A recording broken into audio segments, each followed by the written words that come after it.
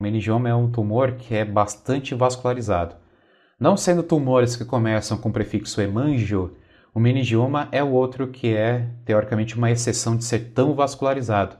Então, característica do meningioma é você perceber que ele tem um centro que recebe uma vascularização e essa vascularização ela vai se irradiando para o contorno desse tumor.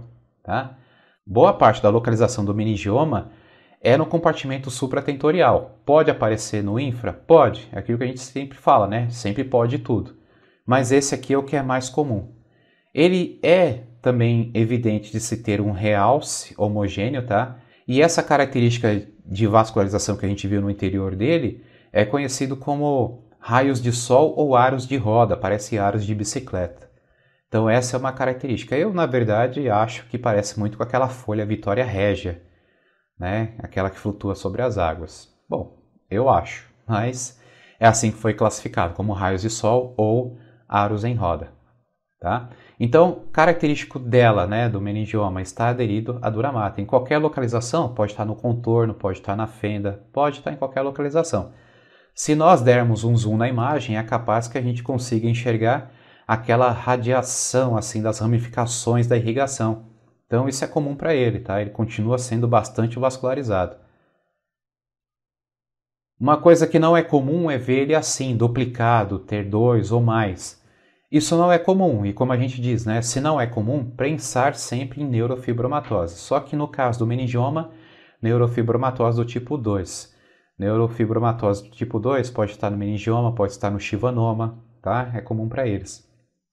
Mas sempre aderido à dura mater, sempre aderido à dura mater. Posso ter dois? Pode, não tem como falar que não, mas sempre aderido à dura mater.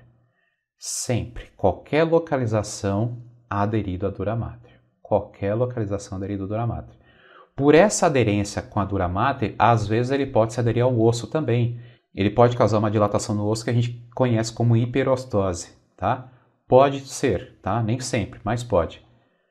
Então ele pode aparecer também num ponto que uh, teoricamente é até comum para ele também, que é no ângulo ponto cerebelar. Ele pode aparecer naquela parte lá também, e aí, quando você enxerga isso no T2, ele vai causar uma espécie de uma fenda licórica, ele vai deixar o líquor passar apertadinho, né?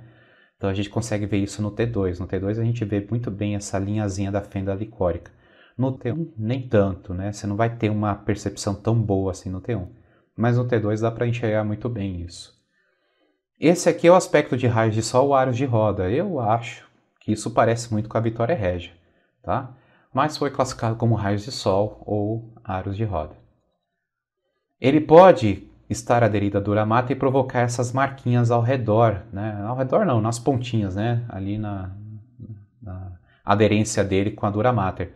E isso aqui é conhecido como cauda dural, tá? É classificado como cauda dural. É só para dizer que tem um aspecto que causou uma caudazinha ali. E ele pode também fazer o que ele chama de dobradura da substância branca. O que é dobradura da substância branca? Se ele se adere na dura mater na região da fenda entre os dois hemisférios, ele vai causando um, uma certa pressão aqui nessa região de substância branca. Essa é a característica também né, que eles deram o nome, mas serve de alguma coisa, tá? Então ele está causando uma pressão. Tumor que fica nessa região intraparenquimatosa ou que fica também em fossa posterior causam pressão é, intracraniana. Então, o paciente aparentemente vai chegar para você lá já com queixas de, de cefaleia, pressão intracraniana. Então, é de se levantar suspeita sempre que você ver uma massa dessa em regiões. E ele, o meningioma, quando aderido ao osso, ele pode provocar uma certa dilatação no osso, isso a gente conhece como hiperostose. Tá? Então, hiperostose é quando ele se adere ao osso, ele causa essa dilatação aqui. Ó. Então, essas são as classificações para o meningioma.